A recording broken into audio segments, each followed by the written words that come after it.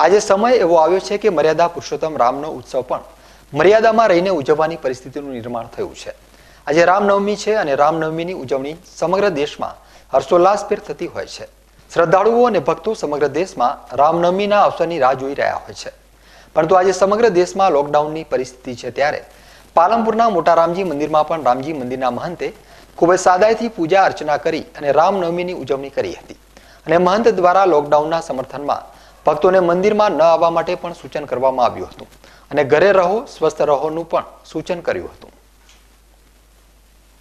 जय श्री राम आज पूरे भारत में लॉकडाउन होने के कारण मैंने राम जन्मोत्सव महोत्सव मनाया